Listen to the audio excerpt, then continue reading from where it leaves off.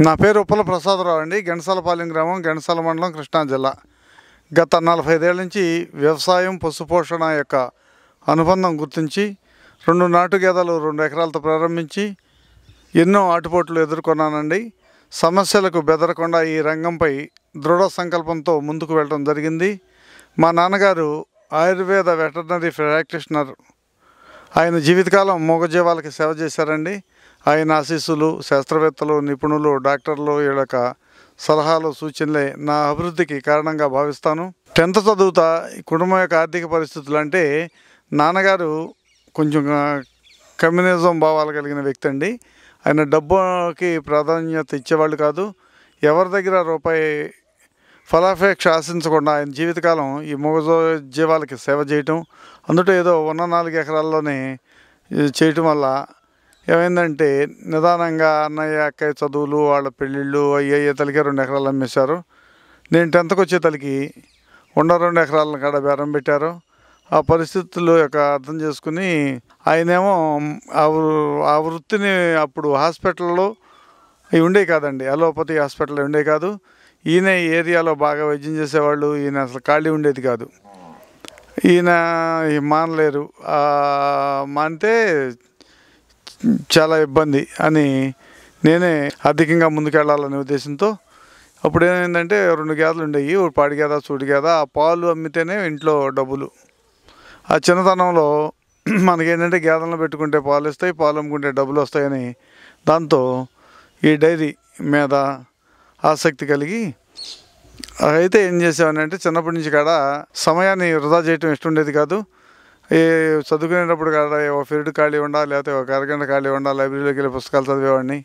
ఆ పుస్తకాల్లో స్వామి వివేకానంద పుస్తకాలు నాకు బాగా నచ్చాయి. ఆయన గురించి నా పుస్తకాలు బాగా చదివేవాడిని. ఆయన పుస్తకాల యొక్క సారాంశం ఏముండేదంటే ధైర్యానికి ఎక్కువ ప్రాధాన్యత ఉండేది. ధైర్యంగా చేయాలి. సహసోపేతమైన జీవన విధానం చేయాలనేటటువంటిది బాగా ఉండేది మనసులో. ఈ రంగంలోకి అడిగెట్టాను. ఒక లక్ష్యం పెట్టుకుని పనిచేయాలని ఒక సూక్తి ఉండేది. ఆ సూక్తి ఆ లక్ష్యం ఏంటంటే ఎప్పటికైనా వంద గేదెలు చేయాలి వంద ఎకరాలు వ్యవసాయం చేయాలని ఒక లక్ష్యం పెట్టుకున్నాను. ఆ లక్ష్యం నిజంగా అయితే ఆ టైంలో మనకి ఒక్క దూడను కొనడానికి కాడ డబ్బులు లేవు. ఒక ఎకరం చేస్తానికి కాడ పెట్టుబడి లేదు. అట్లాగే రెండు ఎకరాలతోనే చేసుకుంటా ఈ రెండు గేదలతోనే ఈ పుట్టినతోళ్ళని పెంచుకుంటా చూసేతలకి మనం చాలా ఇబ్బందులు మొదలైనవి కొనడానికేమో మనకు పెట్టుబడి లేదు కనుక ఉన్నాటితోనే డెవలప్ చేయాలని ఈ డాక్టర్ల సలహాలు తీసుకునేవాడిని. వాళ్ళు ఏంటంటే మంచి శ్రమలు చేసుకొని మంచి జాతిని అభివృద్ధి చేసుకోవచ్చు అని ఉంటే మంచి మంచి శ్రమల్లో ఆ పెడిగ్రీ అవి చదువుకు చూసుకుని మంచి మంచి జాతిని అభివృద్ధి చేయాలని ఆ లక్ష్యంతో నాటు గేదెల నుంచి గ్రేడెడ్ మొర్ర జాతి గేదెలని అభివృద్ధి చేసుకున్నాను. వాళ్ళ డైరీ వ్యవసాయానికి కూడా చాలా బాగుంది. ఒక వ్యవసాయం మీద ఆధారపడకూడదు రైతులు. వ్యవసాయం మీద అంటే వ్యవసాయం అంతా ప్రకృతి మీద ఆధారపడి ఉంది. మనం అంతా పర్ఫెక్ట్గా చేసిన ఎంతో పెట్టుబడులు పెట్టి ఎంతో చేసినా ఒక రోజుతోనే ఒక్కొక్కసారి ఎంతెంతో నష్టాలు వస్తుంటాయి అందుకని వ్యవసాయానికి అనుబంధంగా డైరీ కాడ చాలా బాగుంటుందనే ఉద్దేశంతో డైరీ మీద కాడ దృష్టి పెట్టి డైరీని అభివృద్ధి చేశాను. డైరీ అంటే చాలా సమస్యలతో కూడుకున్నదండి. డైరీ అంటే మాటలు కాదు లేబరుతో చాలా ఇబ్బందులు ఉన్నాయి చాలా చాలా ఆరోగ్య వీటిలో కూడా మనకి డైరీ ఫారంలో మనం నిలబడాలంటే డైరీలో లాభాలు పొందాలంటే ముందు జాతి ముఖ్యం. జాతి అంటే అది ఓ గొప్ప బ్రీడ్లేం కాదు. పాలసార మంచి పాలసార గలై ఉండాలి. పునరుత్పత్తి గలై ఉండాలి. రెసిస్టెన్స్ గలై ఉండాలి. ఇలా ఎప్పటికప్పుడు డై డైలీ రికార్డు రాసుకునేవాడిని. పాల record daily daily treatment record ఇవన్నీ రాసుకుని వాటి ద్వారా గేదెలని బాగా సెలక్షన్ నాటిని ఏర్పాటు చేసుకున్నాను. వంద గేదెలు రావడానికి ఇరవై సంవత్సరాలు పట్టిందండి. చాలా ఒడిదుడుకులు అండి చాలా ఒడిదుడుకులు. ఇబ్బందులు ఏంటంటే నేను బాగా వ్యవసాయం చేసేవాడిని అండి. వ్యవసాయం నా వంతు.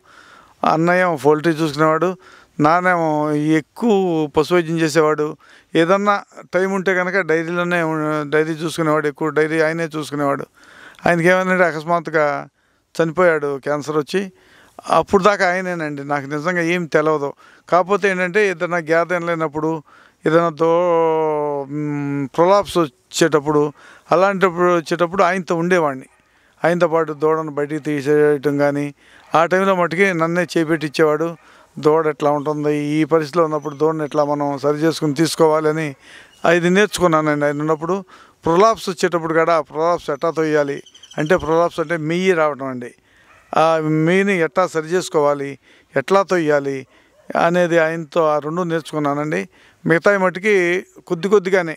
ఆయన ఉన్నాడు కదా అని పట్టించుకోండి కదా ఎప్పుడు నాకు పొలం పిచ్చాయి పొలం వెళ్ళిపోయేవాడిని. ఒక కూలీలతో నాళ్ళతో పాటు కలిసి పనిచేయడం అట్లా చేసేవాడిని. తర్వాత ఏంటంటే ఆయన చనిపోయిన తర్వాత కొంచెం ఇబ్బందులు పడ ఇబ్బంది బాగా అనిపించింది. తర్వాత ఇక్కడ మాకు మనోరంజన్ గారు అని మా వెటనరీ హాస్పిటల్లో డాక్టర్ గారు వచ్చారండి. చాలా మంచి ఆయన అయినా చాలా అనుభవం గల ఆయన. ఆయనతో చెప్పానండి డాక్టర్ గారు మీరు రేత్రిపూట ఎక్కడికి వెళ్ళినా సరే కేసులకి నా ఫోన్ చేయండి నేను వస్తా అనేవాడిని రేత్రిపూట మట్టికి ఆయనతో కలిసి తిరిగేవాడిని. అంతా రికార్డ్ రాసుకునేవాడిని నోట్స్ రాసుకునేవాడిని. దీనికి డిసీజ్ వచ్చింది ఈ మందులు వాడాము దీని రిజల్ట్ ఎలా ఉందనేది పక్కాగా రెండు గేదలప్పటి నుంచి కదా మనం డైరీలో కాలు పెట్టినప్పటి నుంచి ఇప్పటి వరకు రికార్డు రాస్తామండి దాంతో ఏంటంటే ఒక అవగాహన వచ్చేస్తుంది మనకి. రికార్డ్ రాయటం వల్ల మనకు ఒక అవగాహన వచ్చేసింది. ఇవాళ ఏ ఆపరేషన్లో తప్పనిసరి పరిస్థితుల్లోనే కానీ సాధారణంగా డాక్టర్ గారు రావాల్సిన పని లేదండి. అన్నమే అన్నీ మనమే చూసుకుంటాం.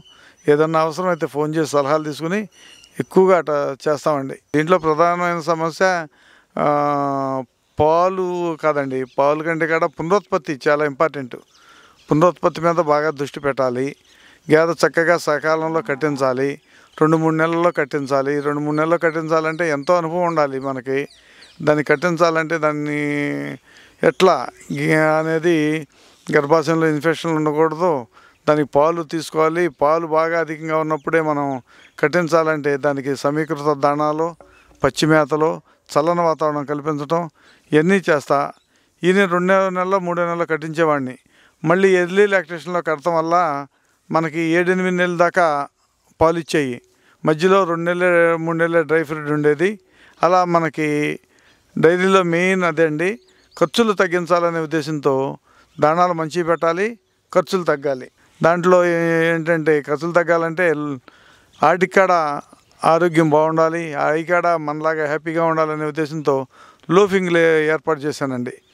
లోఫింగ్లు అంటే మనం వాటిని బంధించకుండా ఫ్రీడమ్గా మేత తొట్లు నీళ్ళ తొట్లు పెట్టి ఫ్రీడమ్గా వదిలేయటం.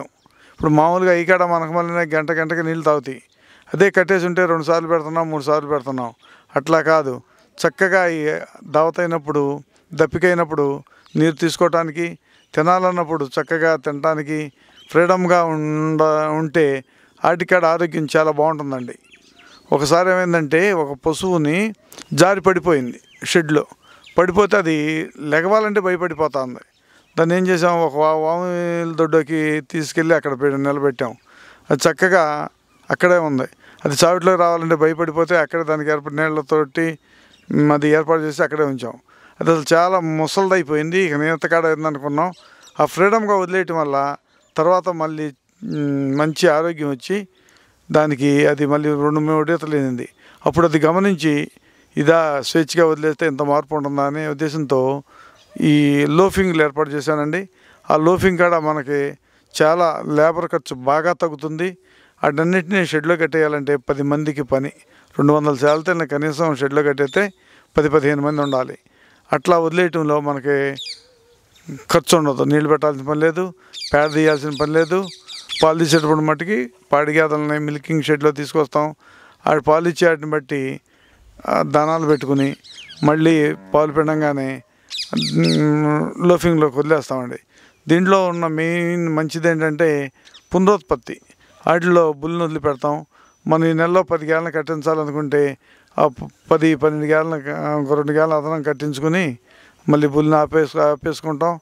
అట్లా దాంట్లో పునరుత్పత్తి ప్రక్రియ కూడా చాలా బాగుంటుంది. ముర్రా గేదలు అంటే సైలెంట్ ఈడ్స్. మనకి ఎద లక్షణాలు తెలవట్ల. డైరీల్లో మెయిన్ లాస్ ఎక్కడంటే గేదెలు కట్టించకపోవటం సకాలంలో కట్టించకపోవడమే పెద్ద చాలా నష్టం అండి. ఈ కారణం ఏంటంటే ఈ మోగెదలు ఎద లక్షణాలు మనకు తెలవు. ఇవాళ వర్కర్స్ కాడ మెకానికల్ అయిపోయారు. ఒక పని వాళ్ళు ఆ పని వాళ్ళు డ్యూటీ లాగా చేసేస్తాం. ఇలాంటి పట్టించు గమనించడం తక్కువైపోయింది. కనుక లోఫింగ్లో ఆ బుల్లు రేపు ఎదకొస్తున్నాను కానీ ఇవాళే గమనించేస్తుంది. చక్కగా దాని ఎమ్మటి తిరుగుతా దాన్ని క్రాస్ చేసేస్తుంది. ఎదలు మిస్ అవ్వవు చక్కగా మనకి పునరుత్పత్తి ప్రక్రియ కాడ చక్కగా చాలా బాగుంటుంది. అదీకాక యూరిన్లో కాడ నత్రజని పొటాష్ చాలా అధిక ఇదిలో ఉంటాయి. ఆ యూరిన్ కాడ చక్కగా డంగు యూరిన్ మనకి పొలాల్లో ఉన్నటువంటి చెత్త పదార్థం పంటల తర్వాత వచ్చేటువంటి పొట్టు ఇలాంటి కాడ డంగు దాంతో తోలుకుంటే చెత్త పదార్థం పేడ యూరిన్ కలిసి మంచి సేంద్రియ పేరు వస్తా అవుతుంది. మన పేడను పెండపోగేస్తే నాలుగు ట్రక్కులు అయ్యేది ఇక్కడ ఎండకెండి తొక్కి నలిగి ఒక ట్రక్ అవుతుంది. మనకి రేపు పొలంలో కాడ పని తగ్గిపోతుంది కనుక లోఫింగ్లో అవకాశం ఉన్నాళ్ళు. లోఫింగ్ ఏర్పాటు చేసుకుంటే చాలా లాభాలు ఉంటాయి. తీపైనా పర్వాలేదండి. వర్షాలు వచ్చేటప్పుడు మట్టుకి వర్షాకాలం మట్టుకి రోజు తీసేస్తాం శుభ్రంగా. రోజు ఇద్దరు మనుషులు ఉండి ఎప్పటికప్పుడు తీసేస్తారు. ఇట్లా వర్షాలు రాదనుకుంటే కనుక ఉంచేస్తామండి ఉంచడమే మంచిది అది మనకి. యూరిన్ కాడ దాంట్లో ఉండి ఈ చెత్త పదార్థం ఇదంతా చక్కగా మిశ్రమం అయిపోయి చాలా మంచి ఎరువు అవుతుంది. అది పొలంలో ఒక మామూలుగా మూడు టక్కులు తోలుతాం కదా. ఎకరానికి మూడు టక్కులు తోలాలనుకుంటే ఒక టక్కే సరిపోతుంది. మంచి పోషక విలువలు వస్తాడు యూరిన్ కాడ కలిసే తలికి. షెడ్లో కట్టేయటం పాలే ప్రధానం అనుకుని దానికి అధికంగా దాణాలు వేయటం అధికంగా మేపడం ఎక్సర్సైజ్ లేక ఎప్పుడూ షెడ్లోనే ఉంచితే మటుకి దాని లైఫ్ తగ్గిపోతుందండి. జీవితకాలం చాలా తగ్గిపోతుంది. మనం ఈ పద్ధతిలో ఈ లోఫింగ్లో వదలటం చెరుకు తోలికెళ్ళటం లేకపోతే ఆ దగ్గరలో ఉన్న గుండెటికి తోలికెళ్ళటం ఆ ఎక్సర్సైజు ఈ వాతావరణంలో సూర్యరశ్మిలో కాడ అవి ఉండటం దీంట్లో నేను లైఫ్ సైకిల్ బాగా పెరుగుతుందండి. మన దొడ్లో ఇప్పుడు పదహారు ఈతలు పదిహేడు ఈతలు ఎన్ని గేదెలు కాడ ఉన్నాయి. ఇప్పుడు లేడీస్ ఉన్నారు పొలం పని చేసేవాళ్ళు చూడండి. నేను ఎక్కువగా ఎందుకనంటే నేను వాళ్ళతోనే ఉంటా వాళ్ళతో కలిసి పని చేయడం వాళ్ళతోనే చేయించుకోవడం అట్లా ఉంటాను. వాళ్ళు నిజంగా కారం మెతుకులు తెచ్చుకుంటారు. వాళ్ళు ఎంత ఆరోగ్యంగా ఉన్నారు వాళ్ళకి బీపీలు ఉన్నాయా షుగర్లు ఉన్నాయా ఏమున్నాయి? వాళ్ళు అదృష్టం ఏంటంటే సూర్యరశ్మిలో పనిచేయటమే సూర్యరశ్మిలో పనిచేయటమే ఆ, ఆరోగ్యం వస్తుందండి. ఈ ఆరోగ్యం ఈ హెల్దీ మీరు షెడ్లో కట్టేస్తే ఉండదండి. ఉండదు. కాకపోతే ఏంటంటే పొలంలో మనం మేత లేనప్పుడు సూర్యరశ్మిలో తోలికెళ్ళటం అది తప్పే. చక్కగా పచ్చిక పొలంలో మంచి పచ్చిగా పోషక విలువైన మేతలు ఉన్నప్పుడు గ్రేజింగ్కి వదిలితే ఎంత ఆరోగ్యంగా ఉంటాయి అవి సూర్యరశ్మిలో కాడ ఆస్వాదించడం అది చాలా మంచిది అవుతుందండి. ఆ పాలు కాడ క్వాలిటీగా ఉంటాయి. మామూలుగా అవి గ్రేజింగ్లో తిరిగి వచ్చిన గేదకేనో షెడ్లో ఉండడానికి చాలా తేడా ఉంటుంది. పాలు పెరుగుతాయండి. తగ్గ పాలు కాదు ఆరోగ్యం కూడా చాలా పెరుగుతుంది. ఇప్పుడు మాకుండే వర్షాకాలం మేము బయటకు వదలం. వర్షాకాలం. వర్షాకాలం ఈయన గదలో ప్రలాప్స్ ఎక్కువ వస్తాయి. అయ్యే వేసవకాలం ఎంత? జనవరి కాడి నుంచి ఈయన మాకు ప్రలాప్స్ ఉండవు. అప్పుడు ఇంకా పొలాల్లో తొలేస్తాం మా గే మన గేదెల్ని. పొలాల్లో వేసవిలో కొంత పిల్లిమేసర జనుము జొన్న ఇలాంటి మేతలు వేస్తాం పిల్లిమేసర కొంత వేస్తాం. అలాంటి పొలాల్లో గ్రేజింగ్లో వదులుతాం. అప్పుడు అసలు ప్రొలాప్స్ అనేది ఒక గీతకు రాదు. ఏంటంటే ఎక్సర్సైజ్ వర్కర్స్ అంటే మనం వ్యవసాయం పశుపోషణ రెండు అనుబంధంగా చేస్తున్నామండి. డైరీ అయితే వర్కర్ చాలా తక్కువ. ఇప్పుడు మీరు చూశారుగా మీరు వచ్చిన కాడి నుంచి ఎంతమంది ఉన్నారు? మీకు ఒక్కడి కాడ కనిపించాల. ఇప్పుడు ఇప్పుడు వచ్చేస్తారు. స్ప్రింగ్ పొలంలో పనులు చేసేవాళ్ళు డ్రైవర్లు మొత్తం అందరూ ఇప్పుడు వచ్చేస్తారు. అందరూ వచ్చి పాలు తీస్తారు. పాలే మాకు పెద్ద పని. మిగతా పనులు ఏం పెద్ద ఇదేం కాదు. ఈ లోఫింగ్లు ఉండటం వల్ల. బాగా చాలా వర్కర్స్ ఖర్చు తగ్గిపోతుంది. నాటు గేదెల కూడా మంచి సెలక్షన్ చేసుకున్నానండి పూర్వం. మంచి పాలసార గల గేదెలు. మనం రికార్డ్ రాసేవాళ్ళం కదా. చక్కగా పునరుత్పత్తి. జీన్స్ని బట్టి ఒక్కొక్క గేదె చక్కగా రెండు నెలల్లో కట్టేసేది. ఎనిమిది నెలలు వచ్చేదాకా పాలు ఇచ్చేది. చక్కగా మధ్యలో రెండు నెలల డ్రై ఫ్రూట్ ఉండేది.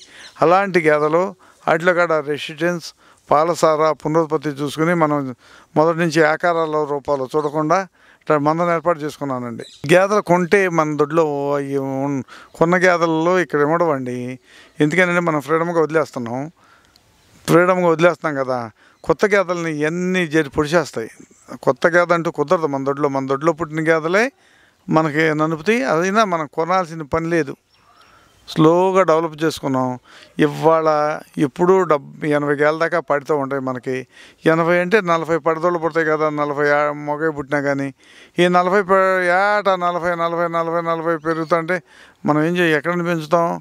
అని ఇప్పుడు ఏం చేస్తున్నాను? లిమిట్గా ఏమైనా కానీ ఒక రెండు వందల సెల్తీలతో సరిపెట్టుకుందాం అనుకున్నాను.